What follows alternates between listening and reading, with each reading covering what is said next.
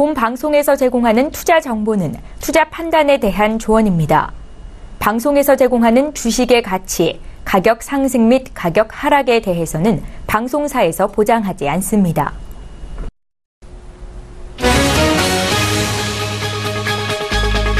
뉴욕 증시가 경기지표 호조에 힘입어 일제히 상승하며 새해 첫날을 산뜻하게 출발했습니다. 하지만 달러 강세와 국제유가 급락의 영향으로 상승폭은 크게 둔화됐습니다. 뉴욕 증권거래소에서 다우존스 산업평균 지수는 전장보다 0.6% 상승한 19,881.76의 거래를 마쳤습니다. S&P 500 지수는 전장보다 0.85% 오른 2,257.83에 기술주 중심의 나스닥 지수도 0.85% 오른 5,429.08에 장을 마감했습니다. 지난달 미국의 제조업 경기가 빠른 속도로 개선된 것으로 나타났습니다. 공급관리자협회는 12월 제조업 구매 관리자 지수가 54.7을 기록, 전달 53.2보다 상승했다고 밝혔습니다. 이는 지난 2014년 12월 이후 약 2년 만에 최고치입니다. 지수가 경기 판단 기준선인 50을 웃돌며 제조업 경기가 확장하고 있음을 나타냈습니다. 유럽 증시는 중국과 미국의 제조업 지수가 긍정적인 결과를 나타내며 상승세를 나타냈습니다. 전날 공휴일로 개장하지 않았던 영국 런던 증시 FTSE 100 지수는 0.49% 오른 7,177.89를 기록하며 거래일 기준으로 나흘 연속 상승했습니다. 프랑스 파리의 까크 40 지수도 4,899.33으로 0.35% 상승했습니다. 반면 독일 프랑크푸르트 증시의 닥스 지수는 11,584.24로 전날보다 0.12% 하락했습니다.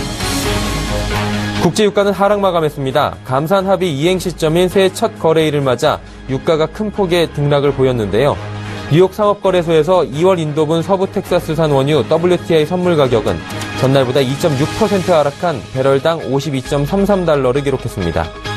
런던 아이스 거래소에서 이 브렌트유 3월 인도분 선물 가격은 전날보다 2.4% 하락한 배럴당 55.47달러를 기록했습니다.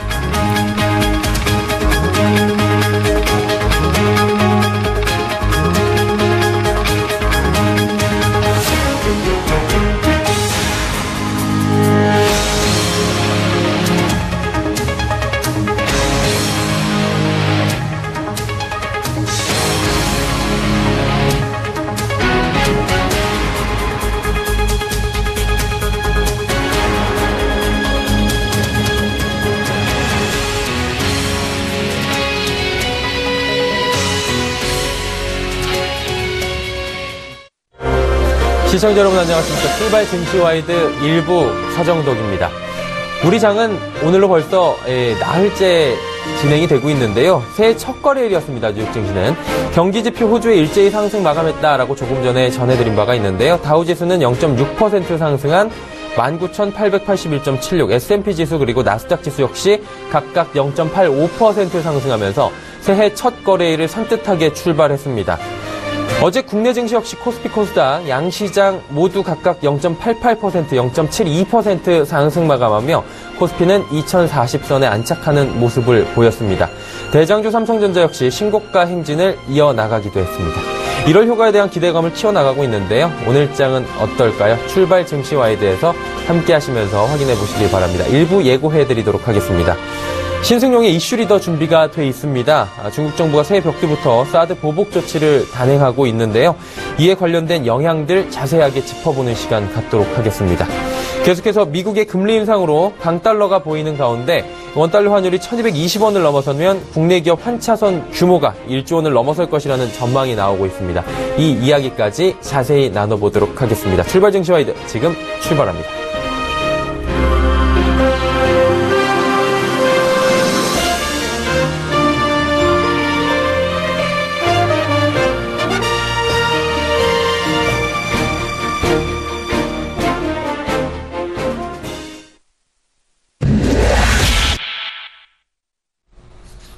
전일장 글로벌 증시를 꼼꼼하게 살펴보고 오늘장을 대비해보는 마켓 리더 시간입니다. 수요일을 책임질 마켓 리더입니다. 한국투자증권 김권진 차장과 이야기 나눠보도록 하죠. 차장님 안녕하십니까?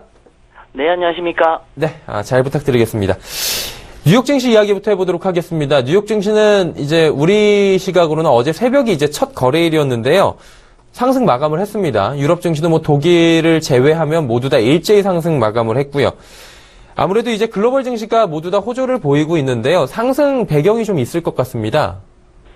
네, 그렇습니다. 뭐 뉴욕 증시 같은 경우 경기 지표가 많이 호조가 나왔다라는 얘기를 먼저 얘기를 해드리도록 하겠습니다. 뭐 이러한 모습 때문에 일제히 상승 마감을 했습니다. 하지만 좀 달러 강세가 그리고 유가가 다시 좀 내려오는 모습이 나타나면서 상승폭이 조금 둔화가 됐다라고 판단해 주시면 될 것 같습니다. 이날 증시는 국제 유가 상승과 경기 지표 호조 영향으로 해서 장 초반 가파른 상승세를 나타나기도 했습니다. 실제 S&P 500 지수 같은 경우는 2260선을 어, 다우 지수 같은 경우는 19,900선을 돌파하기도 했지만 달러 강세 영향으로 인해서 국제 유가가 조금 하락 반전이 나왔다라는 얘기를 해드립니다. 이것 때문에 조금 상승폭은 조금 둔화가 됐다라고 생각해 주시면 될 것 같고요. 특히 제일 중요한 건 결국은 미국의 제조업 활동이 시장 예상치를 웃돌면서 제조업 부분이 상당히 개선이 되고 있구나, 참 건전하게 잘 움직여주고 있구나라는 것을 시사해 주는 것 같습니다. ISM은 이 12월 제조업 PMI 같은 경우가 어, 조사치를 웃돈 전월 53.2에서 54.7로 상승했다고 지금 발표를 했습니다. 실제로 이러한 모습에서 아 실제 미국의 어, 제조업이 상당히 잘 움직여주고 있구나라고 판단해 주시면 될 것 같습니다. 또 미국 상무부에서 11월 건설 지출 같은 경우가 0.9% 이상 늘어나 연율 1조 1,800달러까지 집계가 됐다고 지금 발표를 하면서 이것은 2006년 4월 이후에 가장 최고치다라고 생각해 주시면 될 것 같습니다. 또 유럽 같은 경우는 어, 중국과 미국의 그 제조업 지표에 호조에 힘입어서 어떻게 보면 1년 만에 최고치를 현, 그 기록하면서 마감이 됐다라고 생각해 주시면 될 것 같습니다. 최근에 주가가 좀 많이 올라왔다가 어, 연말에 되면서 한 3, 4일간 좀 조정을 받았습니다. 그건 어떻게 보면 건전한 조정이었다. 그리고 다시 새해가 시작이 되면서 주가가 다시 상승을 했다라고 생각해 주시면 될 것 같습니다. 네, 어, 뉴욕 증시에 대한 이야기까지 쭉 들어봤고요. 이제 국제유가 얘기를 좀 해보도록 하겠습니다. 장 초반에는 상승을 했는데 강달러에 대한 영향으로 좀 하락 마감을 했고요. 또 하락폭이 좀 컸습니다. 2% 이상의 좀 급락을 보여주기도 했었는데요. 하지만 여전히 유가는 60달러가 돌파가 가능하다. 이런 이야기를 하시는 분들도 계시는 것 같습니다. 어떻게 가능할 것으로 보이십니까? 그리고 변수가 있다면 국제유가에 어떤 점들이 있을까요? 자, 우선 좀 우상향 해주는 모습이 맞을 것 같다라는 얘기를 해드리겠고요. 전일 같은 경우는 달러 강세 영향으로 해서 전날보다 배럴당 2.6% 정도 급락한 52.33달러를 기록하면서 2주 만에 어떻게 보면 최저치를 최저치로 조금 하락을 했습니다. 그렇지만 결국은 다시 우상향해 줄 걸로 생각을 하고요. 예전에 있던 박스권이 아니라 이제는 그 윗단에 있는 박스권으로 좀 바뀌었다라고 생각해 주시면 좋을 것 같습니다. 실제 오펙과 비오펙이 산유량 감축 이행이 얼마나 될 것인가가 지금 많이 관건으로 나타나고 있고요. 아직 시작을 이제 했으니까 아 이제는 하겠지라고 대부분 사람들이 관심을 포인트를 가지고 있다라는 얘기를 해드리도록 했고요. 이런 모습에서 우선 박스 자체가 그렇습니다. 예전에는 40에서 50에 있던 박스가 이제는 50에서 60으로 한 단계 위로 올라서 있다라고 생각해 주시면 될 것 같습니다. 실제 그렇습니다. 60달러를 근데 또 여기서 돌파하기가 좀 힘든 이유는 뭐냐면 셰일가스 BP가 60달러 정도라고 합니다. 실제 60달러가 어, 넘어가면 시외가스에 대한 물량이 좀 많이 되면서 수요와 공급의 원칙에 의해서 어, 공급이 좀 너무 많아져 버릴 수가 있다 있기 때문이다라는 거 얘기를 해드리도록 하겠고요. 지금 이제부터 어떻게 보면 좀 중요한 것은 공급 문제보다는 수요의 성장이 얼마나 될 것인가. 실제 건전한 수요 지금 바로 미국이죠. 미국을 대표적인 선두 주자로 해서 어, 제조업이 활성화가 되기 시작하면 계속해서 유가를 많이 수요가 늘어날 수 있을 거다라고 판단해 주시면 될 것 같고요. 이러한 수요의 성장이 계속해서 지속 이 돼야 된다라는 거 얘기를 해드리겠습니다. 그리고 공급 측면에서도 그동안 공급이 때문에 너무 많은 공급, 과다 공급 때문에 거의 뭐 30달러가 깨지는 모습, 이런 모습까지 보여줬던 게 사실입니다. 그렇지만 다시 한번 국제 유가는 우상향이 주는 모습이 계속해서 나올 거다. 이런 것의 전제 조건은 결국은 전 세계의 경기가 조금씩 좋아지고 있다. 즉 계속해서 원자재의 수급이 탄 타이트해지는 모습이 나와야 되기 때문이다라는 거 얘기를 해드리도록 했고요. 실제로 가장 뭐 단기적 으로 전체적으로는 가장 중요한 것은 오펙과 비오펙 사인은 했지만 실제로 산유량을 감축해 주는가 안 해주는가에 대한 관찰이 가장 중요할 것으로 판단하실 수 있을 것 같습니다.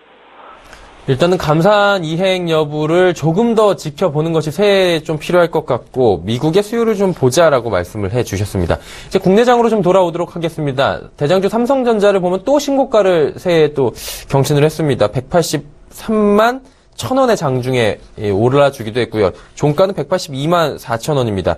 또 이제 6일이면 잠정 실적을 내놓습니다. 성적 좋을 거라고 하는데 차장님 어떻게 보십니까? 네, 그렇습니다. 실제 뭐 4분기 실적이 얼마나 나올까에 대한 이런 고민이 참 많은 것 같다라는 거 얘기를 해드리겠습니다. 참 지금 예상치 나오고 있는 것들은 대부분 8조 중반까지 나오고 있는 것 같습니다. 좀 안 좋게 보는 데는 한 8조 1000 그리고 좀 좋게 뭐 좀 장밋빛으로 보는 데는 8조 5천이 넘어가는 이런 숫자가 나올 거라고 지금 예상이 돌고 있다라는 거 얘기를 해드리겠고요. 여기다 가장 좋은 부분은 어디냐면 결국 반도체 부분입니다. 반도체 부분 그리고 OLED 부분이 아주 surprise한 그런 big cycle이 돌고 있기 때문이다라는 거 얘기를 해드리겠고요.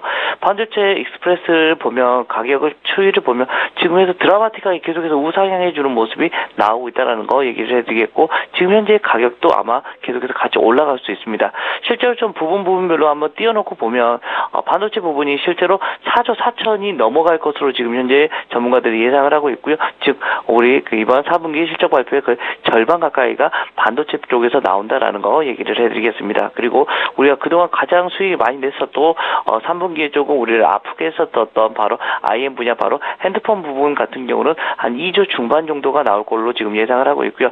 이 두 부분만 합쳐서도 7조가 넘어가는 부분이 된다라는 거. 그리고 백색 가전이나 이런 가전 쪽에서 1조가 넘어가면서 실제로 8조가 넘어가는 수준이 나오는데요. 이제는 앞으로 계속해서 반도체 부분은 올해 내년까지 계속해서 좋을 거다라고 얘기를 해드릴 수가 있을 것 같고요. 올해 자 그러면 지나간 것은 됐고 올해부터가 지금 어떻게 나올 거냐 결론은 갤럭시 갤럭시 8 같은 경우도 이제 조만간 발표가 될 것 같은데요. 실제 이쪽 라인들도 상당히 좋게 나올 것 같습니다. 그렇게 되면 다시 IM 쪽 분야 즉뭐 핸드폰 부분에 대한 숫자 같은 경우도 어떻게 되는데 거의 4조를 다시 넘어갈 겁니다. 그러면 반도체와 반도체와 핸드폰 두 가지만 더해도 8조가 넘어가고 어, 백색 가전 쪽만 조금만 더 잘 된다면 실제로 몇조 뭐 10조 분기에 10조 이런 10조의 흐름이 나올 수도 있을 것 같다라는 얘기를 해드립니다. 실제 이러한 모습이 나오면 주가는 더 위로 올라갈 수 있을 거다라는 얘기를 해드릴 수가 있을 것 같고요. 삼성전자는 우리나라의 대표적인 지금 현재 뛰는 말이라고 생각해 주시면 될 것 같습니다. 항상 우리가 얘기를 많이 하듯이 아 뛰는 말에 올라타야 된다라고 여러분들 많이 들으셨을 거라 생각하시고요. 실제 이러한 모습이 계속해서 지속이 될 수 있을 것 같다라고 생각해 주시면 된다. 즉 올해 내내 삼성전자 의 강세는 가능할 것 같다라는 얘기를 해드릴 수가 있을 것 같고요. 목표 주가 오늘 같은 경우도 애널리스트들이 냈던 어, 목표 주가가 230만 원이 넘어갔는데요. 저는 뭐 조금 현실성 있게 우선은 210만 원 정도를 목표 주가로 하고 한번 우리 어, 시청자분들 좀 대응해 주시면 좋을 것 같다라고 생각을 해드리도록 하겠습니다. 네, 보수적으로 잡아주시는 뉘앙스인데 210만 원이네요, 삼성전자 주가가. 네, 네, 그렇습니다. 네. 그래요. 그러면 이제 삼성전자 6일 필두로 해서 earning season, 4분기 earning season이 도래하고 있는데 turnaround가 예상이 되는 업종이 차장님 좀 보이십니까? 아, 네, 그렇습니다. 실제로 가장 뭐 계속해서 작년부터 계속해서 좋았던 업종은 바로 이 IT 업종이다라고 생각해 주시면 될 것 같고요. 이 빅 사이클은 최소한 내년 이상까지는 계속해서 돌아야 할 거다라는 것. 즉, 계속해서 IT 쪽은 조금 조정이 받으면 우리 시청자분들도 계속해서 한번 접근을 해보는 시기로 어, 대응을 해주시면 좋을 것 같고요. 최근에도 유가 상승으로 인해서 화학 업종들이 상당히 좋게 지금 흐름이 나오고 있다는 거 여러분들 잘 아실 겁니다. 실제 이러한 모습 때문에 화학이나 에너지 업종까지도 다 같이 상승 쪽으로 움직여주고 있다라고 이야기를 해드릴 수가 있을 것 같고요. 최근에 또 어쩌습니까? FMC 쪽에서 결국 금리를 12월 달에 인상을 했고 올해는 지금 현재 점도표상으로는 한 세 번 정도 금리를 인상을 시킬 거라고 지금 얘기를 하고 있습니다. 즉 금리가 상승기로 돌아가고 있다라는 거. 그렇게 되면 어디 쪽 바로 은행 즉 금융 쪽에 관심을 좀 많이 가지셔야 된다라는 얘기를 해드리겠습니다. 다시 한번 언급을 해드리자면 디스플레이, 반도체, 화학, 에너지, 은행 실적이 호전이 많이 예상이 된다. 그 업종들을 여러분들이 좀 집중적으로 조금 어, 관심을 좀 많이 가져주셔야 될 것 같다라고 판단해 주시면 될 것 같습니다. 네, 이야기 잘 들었습니다. 지금까지 한국투자증권 김권진 차장과 이야기 나눠봤습니다. 차장님 감사합니다. 네, 감사합니다.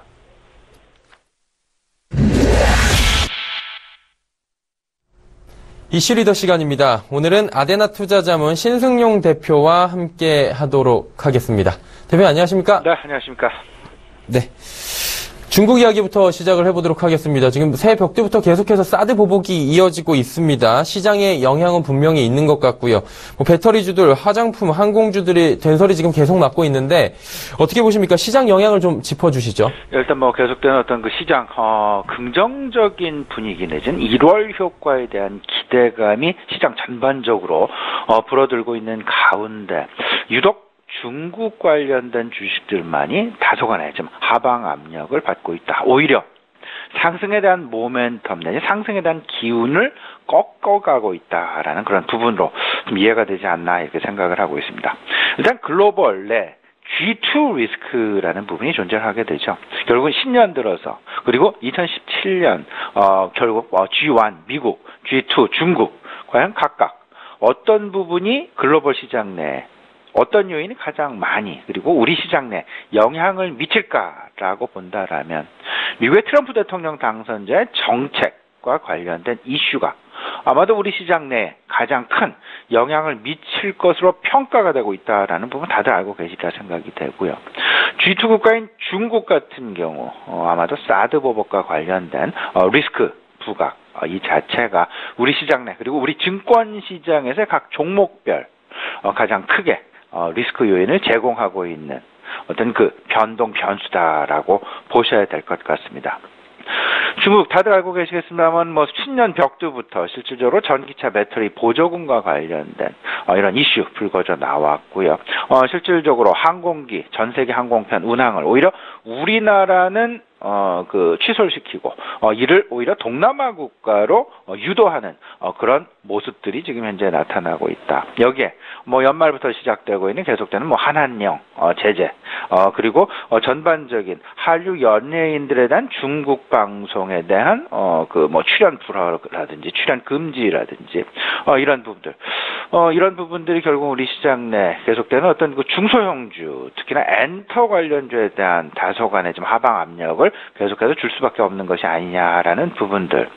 어, 가장 걱정하고 있는 부분은요. 이때까지 제재를 겪어왔었던 그런 부분들이 결국은 어, 대부분 서비스 업종에 국한이 돼서 진행이 되었었다라면 이제는 혹시나 이런 부분들이 이제는 제조업으로 확산되는 것은 아닌지라는 우려감 그리고 전반적인 무역으로 확산되는 것은 아닌지에 대한 우려감 만약에 이것이 어, 서비스업에서 무역 확산 그리고 무역에서 만약에 금융 어, 전반적인 금융으로까지 제재, 금융 제재까지 이어진다라면 이는 상당히 우리 시장 내 우리 전반적인 경제 여건 속에 어, 상당히 부정적인 영향을 미칠 수밖에 없지 않겠느냐라는 점. 어, 특히나 지난 11월 이후 우리나라 주식시장 내에서 중국인들이 주식을 팔고 나간 금액이 1.5조 원에 달한다라는 점. 어, 그래서, 어, 그들의 지금 현재 주식 보유, 어, 규모가 약 한 8.5조 원 규모로 상당 부분 축소돼 있다라는 점을 좀 생각을 해본다라면 그리고 더 나아가서는 중국인들의 투자 자금에 대한 어, 중국 정부 내에서 각종 뭐 세금 가, 세금 강화라든지 이런 제재 조치를 취함으로써 우리나라에 투자된 자금을 회수하려는 그런 움직임들이 나타나게 된다라면 우리 시장 어, 실질적인 실물 시장, 주식 시장은 물론 전반적인 우리 경기에까지도 어, 그 부정적인 영향을 미치지 않겠느냐라는 부분들. 따라서 우리 시청자 여러분들도요 이 중국 관련된 부분 어, 비단 사드뿐만 아니라 전체적으로 어, 중국 그들 역시 그들 차원에서 보호 무역을 강화할 가능성 잔존하고 있다라는 부분 생각해 보시면서 좀 고민 폭을 좀 넓혀 가시는 게 좋지 않을까 이렇게 생각을 하고 있습니다. 한마디로 어디까지 보복이 이어지느냐 이 부분을 면밀하게 관찰하자라고 예의주시하자라는 말씀이신 것 같고요. 강달러 이야기 좀 해보도록 하겠습니다. 지금 1200원 돌파한 지가 꽤 됐는데 1220원까지 원달러 환율이 올라가게 되면 국내 기업들의 환차성 규모가 1조 원이 된다라는 이야기도 있던데 이 이야기를 좀 대표님 자세히 들어볼 수 있을까요? 예, 예. 이게 지금 상당히 고무적인 어떤 그 상당히 우리가 좀 심각하게 받아들여야 될 문제가 아닐까. 결국은 걱정했던 것이 온 것은 아닌가라는 그런 생각도 가져봅니다. 환율을 항상 알고 계시겠습니다만은 양면성을 가지게 됩니다. 환율. 결국 원화가 계속되는 절하. 뭐 1200원을 넘어서 1300원을 넘어가고 뭐 이런 상황이 된다라면 일단 수출 경쟁력은 상당 부분 긍정적으로 변화 내지는 긍정적인 방향으로 진행이 되게 되, 됩니다. 하지만 그 반대편에 서 있는 어, 외화 부채가 많은 기업들, 외화 부채를 많이 가져다 쓰고 있는 금융권들 상당 부분 부담이 가중될 수밖에 없을 것이다라는 점. 이것이 바로 환율이 가지고 가는 양면성이다라고 보셔야 될 것 같습니다. 현재 시장 내에서 가장 긍정적으로 생각하는 원달러 환율. 어쩌면 1150원에서 1200원 사이가 아닐까 생각이 되는데요. 어, 이미 뭐 말씀을 하셨습니다만은 1,200원대를 넘어선 지 상당 기간이 지금 지나서 있는 상황. 지난 연말 최고치가 1,210원을 넘어서는 어, 그런 모습들까지도 나왔고 어, 이런 부분들 결국은 지금 현재 달러 인덱스의 상황 101원을 어, 넘어서 있는 사상 초유의 어떤 그 달러 강세가 지속되고 있는 그리고 고공행진을 지속하고 있는 그런 상황이다라면 원달러 환율이 쉽사리 하락할 가능성은 좀 제한적이지 않겠느냐. 물론 어제 우리 시장 내 영향을 주었던 중국의 위안화 환율 절하 부분. 어, 이런 부분들의 어떤 그 상대적인 어떤 어, 그 혜택 좀 받을 수도 있긴 있겠습니다만은 하지만 기본적으로 달러화의 강세가 지속되는 쪽에 시장에 어, 무게 중심이 쏠려가고 있다라는 점 이런 부분들은 어, 원 달러 환율의 어떤 그 약세 내지는 원, 원화 약세가 계속해서 어, 지속될 가능성 좀 보셔야 될 것 같습니다. 앞서서 말씀을 드렸습니다만은 이미 어, 저, 금융감독원에서는 지난 12월 중순경에 있었던 어떤 그 평가를 통해서 그때 환율이 1186원인가 1185원 정도 됐었는데요. 그때 이미 우리나라 산업, 금융권을 포함한 전반적인 전체 산업 중에서의 어떤 그 어, 환차손 외환 환차손 규모가 이미 5천억 원에 달할 것이다라는 추정치를 발표했다라는 점. 그를 근거로 해본다면 지금 현재 1,203원 그리고 더 나아가서 1220원을 넘어서게 되면 1조 어, 원이 될 가능성도 분명히 있을 것이다라는 점. 이런 부분들 환율의 어떤 그 지금 현재 뭐 어, 위험 위험 위화감을 우리 시청자 여러분께 어떤 그 조성해서 뭐 말씀을 드리려는 것이 아니라 환율 항상 양면성이 존재하고 있다. 아, 이 부분 생각을 하시면서 저 빠른 시간 안에 균형점을 찾아가야만 우리 시장 안정화 도모될 수 있지 않을까 이런 생각 좀 가져봅니다. 한마디로 지금 강달러라고 해서 너무 기죽거나 너무 눌려있지 말고 양면성을 잘 생각해서 또 기회로 삼을 수도 있다라는 말씀이신 것 같아요. 자, 이제 추가적으로 한마디 들어보고 싶은데요. 올해 PC 시장 5대 트렌드라는 걸 짚어주신다고 하는데 이 이야기는 어떤 이야기입니까, 대표님? 아, 5대 PC 트렌드는 이렇게 좀 보셔야 되겠죠. 어, 지금 현재 뭐 내일 모레, 이제 뭐 우리 시간은 내일 모레고요. 어, 실질적으로 1월 5일 어, CS 2017 벌어지게 됩니다. 시장 내 어, 관심은 한껏 IT 쪽으로 집중되고 있다라는 부분. IT와 모든 산업 간의 융합. 이 가장 중심점에 어찌 보면 통신이라는 것도 중심점에 서 있을 수 있습니다. 하지만 더 중심적인 것. 어쩌면 control tower 역할을 하고 있는 어떤 그 control panel 역할을 하고 있는 어, 그 기기, 여러분 PC가 되지 않을까라는 그런 생각 조심스럽게 좀 가져봅니다. 2017년 주목해야 될 시장 내 5대 트렌드. 결국은 사물 인터넷, 만능 인터넷과의 통합이다라는 것. 이 부분을 꼭 중심적으로 PC 수요 관련해서 좀 생각을 해 보셔야 될 것 같고요. 게임과 결합된 어떤 그 AR과 VR의 변화. 이 부분은 디스플레이의 혁명이다라고 해도 어, 과언이 아닐 듯 싶습니다. 어, VR 어, 그리고 AR과의 결합 이를 통한 우리와 우리 어떤 그 생활과의 어떤 그 밀착 이런 부분들이 결국은 어, PC를 중심으로 일어날 가능성도 있을 것이다. 거꾸로 PC가 이 분야로 발맞춰서 어, 발빠른 어떤 그 변화, 변신 나타날 가능성도 있지 않겠느냐라는 점. 그리고 게임 산업의 어떤 그 변화, 그리고 어, 각종 뭐 사이버의 어떤 그 변화 이런 부분들에서 디스플레이 혁신 분명히 나타날 것으로 어, 전망이 되고 있고요. 그다음에 노트북과 태블릿의 투인원이랄지 각종 다양한 어, 펑션의 추가 이런 부분들이 결국은 PC 시장 수요를 오히려 만들어갈 가능성 있지 않겠느냐라는 점. 그리고 PC의 어떤 그 수명 주기가 변화되고 있다라는 점. 왜냐하면 PC 임대업이 새롭게 이제는 시장 내 매우 중요한 어떤 그 사업군으로 자리를 잡고 있다라는 점. PC 제조에서 끝나는 것이 아니라 PC를 임대하고 애프터 서비스를 하고 관리를 해주는 그런 새로운 어, 사업 영역군이 지금 현재 시장 내 등장이 되고 있다라는 부분 생각을 해보시면요. 어, 전체적인 지금 PC에 관련된 부분도 우리가 생각을 해볼 필요가 있어 보이고요. PC 산업 호조가 된다라면 당연히 이 속에 들어가는 반도체 메모리의 확대 그리고 디스플레이의 어떤 그 변화 각종 기기 각종 부품의 어떤 그 어, 수요 증가 부분 우리가 생각을 해보면서요. 전체적인 한 가지 부분이 아니라 어, 전반적인 어, 둘이 뭐 전반적으로 이제 그 묶어서 우리 한번 CES 2017 모바일 월드 콩그레스 그리고 디트로이트 모터쇼에 이르는 1분기 집중되어 있는 글로벌 박람회 그들의 방향성이 과연 어디로 진 행이 되어 가고 있는지 잘 살피게 되면 결국 최근에 나타나고 있는 주식시장 내에서의 테마군의 어떤 그 움직임 잘 쫓아갈 수 있는 계기가 되지 않을까 이렇게 생각이 되고 있습니다. 네, 1분기에 있는 몰려있는 글로벌 박람회 잘 봐야 될 것 같다라는 생각이 정말 드네요. 그럼 이제 오늘장 투자를 저희 해야 되는데 오늘장의 투자 조언을 한번 해주신다면 어떤 말씀을 야, 해주시겠습니까? 뭐, 앞서, 앞서서 말씀을 드렸습니다만은 신기술 트렌드를 쫓아가는 그런 전략 필요해 보이지 않나 이렇게 생각이 됩니다. 어, 마침 이제 그 내일로 다가온 어, CS 2017 그리고 이제 6일로 다가왔죠. 삼성전자를 어, 필두로 해서 어, 사실상 4분기 실적 시즌이 이제 개막이 된다라는 점. 특히나 여기서 삼성전자 시장 내에서 상당 부분 기대가 지금 커지고 있습니다. 어, 이 커지고 있는 가장 중요한 핵심 부분에는 반도체 사업이 자리 잡고 있다라는 부분. 반도체 대표주 삼성전자, SK 하이닉스 그리고 아울러서 디스플레이 관련주들까지도 우리는 눈여겨봐야 될 것이다 라는 부분. 이런 것들이 전반적으로 CES 2017과 맞물리면서 그리고 올해 실질적인 화두로 다가오고 있는 4차 산업혁명의 성장.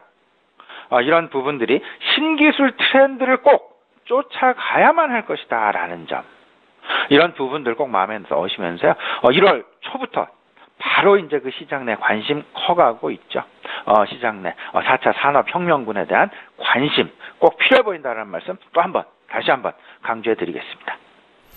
네, 아, 오늘의 투자 조언까지 잘 들어봤습니다. 아데나 투자자문 신승용 대표와 함께 이야기 나눠봤습니다. 대표님 감사합니다. 네, 감사합니다.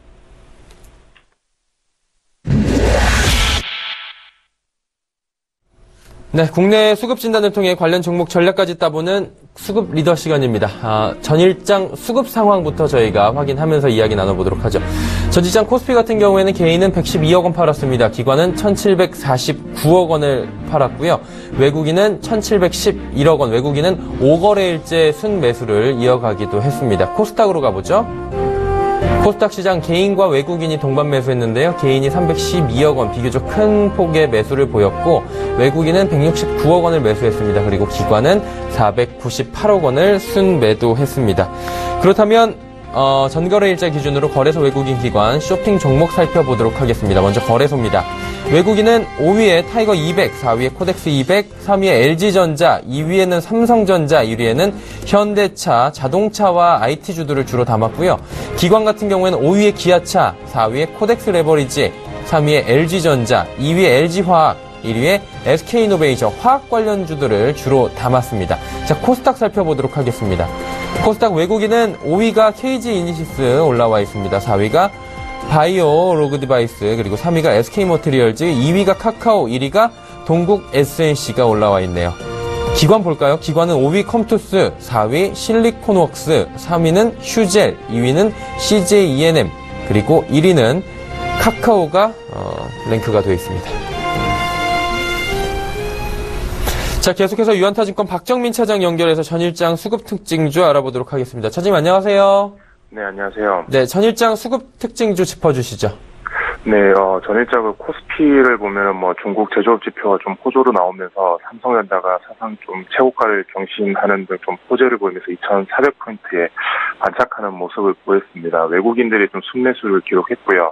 근데 업종별로 보면 좀 등락이 엇갈리는 모습을 보였습니다. 이게 막 전기, 화학, 뭐 증권, 기계, 제조업체 쪽은 한 1% 이상의 상승을 좀 보였고 종이 목재라든지 뭐 유통업, 운수 창고 쪽에도 좀 오름세를 기록을 했습니다.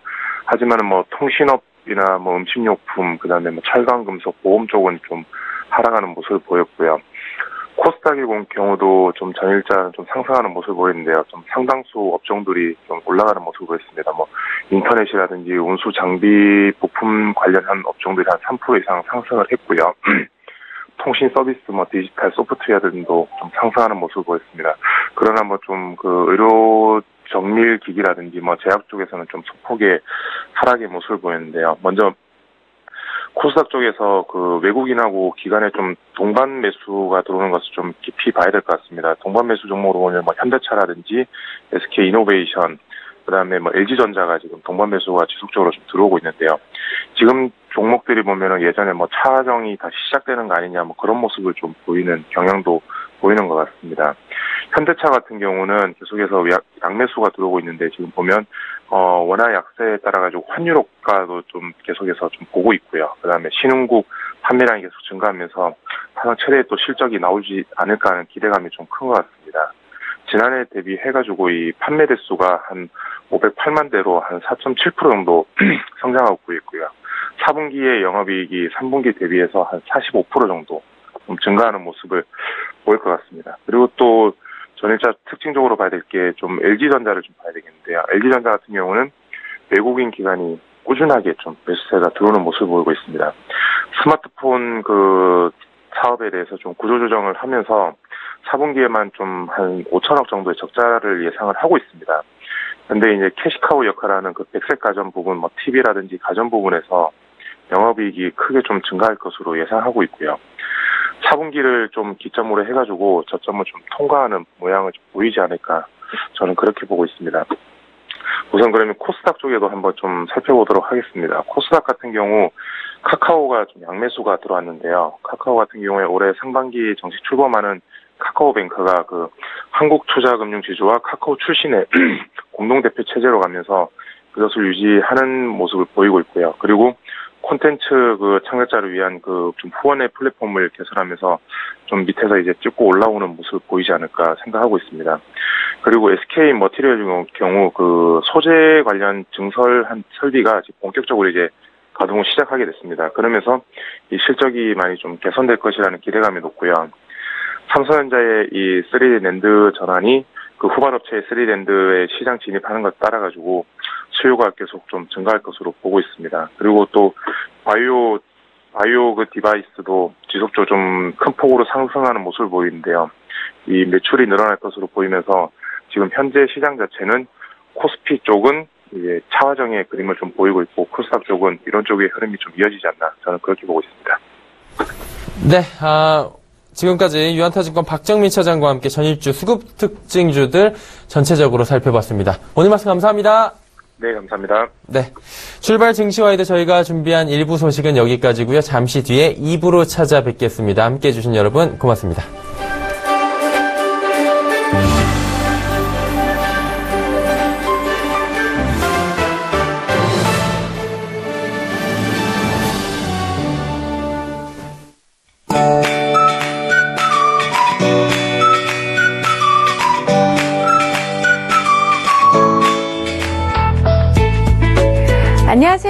더 라이프 스타일 예보 차수입니다.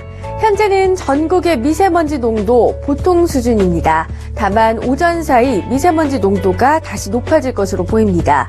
국외 대기 오염물질이 유입되면서 미세먼지 농도가 한때 나쁨 단계로 올라서겠습니다. 출퇴근길 마스크를 챙기시기 바랍니다. 공기는 탁해도 날은 온화하겠습니다. 낮 동안 10도 안팎까지 오르겠는데요. 한낮에 서울이 9도로 높을 것으로 보이고요. 부산은 13도까지 오르면서 3월 초중순에 해당하는 기온을 보이겠습니다. 다음으로 이 시각 위성 영상입니다. 현재 전국이 맑지만 미세먼지와 안개로 인해 뿌연 모습인데요. 고기압 영향권에서 대기가 안정돼 오후 들어서도 옅은 안개로 남아있는 곳이 많겠습니다. 여기에 미세먼지도 해소되지 못할 것으로 보여 계속해서 건강관리에 유의하셔야겠습니다. 그럼 자세한 지역별 오늘 날씨는 나절 예보를 통해서 살펴보겠습니다. 중부 중부지방 아침까지는 가끔 구름 많다. 낮부터는 대체로 맑겠습니다. 아침 기온 서울 1도, 청주 0도, 낮 기온은 서울 9도, 대전 10도로 예상됩니다. 강릉과 동해 삼척에는 건조특보가 내려진 상태고 낮에 태백과 강원 남부 산지에도 건조특보가 확대될 것으로 보입니다. 남부지방 대체로 맑겠고요. 한낮에는 광주 대구 11도, 부산 13도, 제주 12도로 무척이나 온화하겠습니다. 해상으로도 눈비 소식 없는 데다 물결도 낮게 일겠습니다. 소환절기인 내일 목요일에는 제주도와 동해안 지방을 중심으로 비나 눈이 내릴 전망입니다. 날씨였습니다.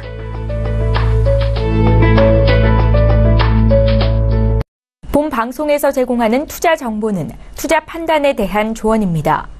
방송에서 제공하는 주식의 가치, 가격 상승 및 가격 하락에 대해서는 방송사에서 보장하지 않습니다.